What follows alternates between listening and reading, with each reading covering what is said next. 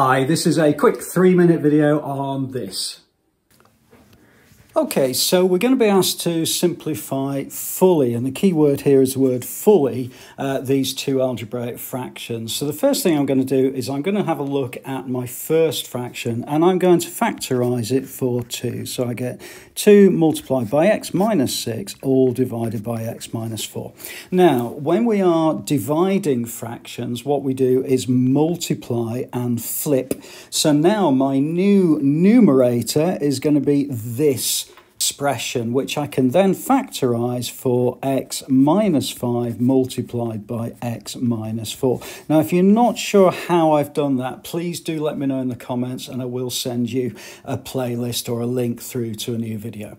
Okay, so my new denominator is going to be the factorisation of this. This is where it gets a little bit trickier and I do have a playlist on this particular factorising. But basically what I'm going to do is I'm going to say 2 times minus 36 is going to be minus 72. And then I want two numbers that when I multiply them together make minus 72, and when I add them together make minus 6. And those two numbers are going to be minus 12 and plus 6. So I can rewrite my denominator as 2x squared minus 12x plus 6x minus 36. Nothing's changed. I've just rewritten it in a slightly different way. So I'm going to then work forward a little bit and I just need to rewrite what I've written before. And let's have a look then at my denominator of the second fraction. Well, what I'm going to do is I'm going to factorise the first two terms. Now, if I factorise the first two terms, I'm going to factorise them for 2x, and I get x minus 6.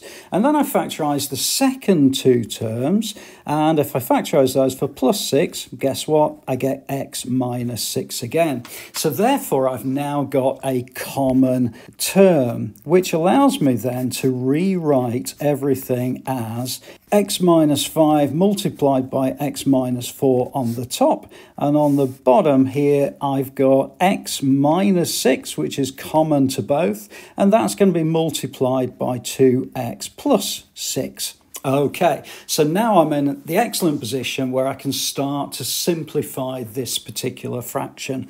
Okay, so let's have a look. Well, I've got x minus 4. I can divide through top and bottom by x minus 4. And then I've got x minus 6, top and bottom, x minus 6. And what that leaves me is 2 multiplied by x minus 5, all divided by 2x plus 6. Now that would just about get you there, but you might recall right at the very beginning it says simplify fully. So you might be able to spot that my denominator I can actually factorize for 2.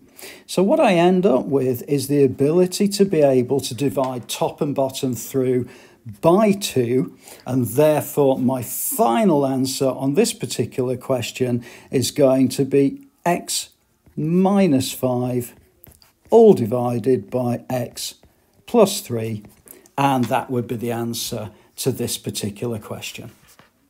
Okay, so I hope the video was useful. Please do add a comment below if you're not sure about anything. I'll always come back to you. Subscribe to the channel. I'll look forward to seeing you inside the next video.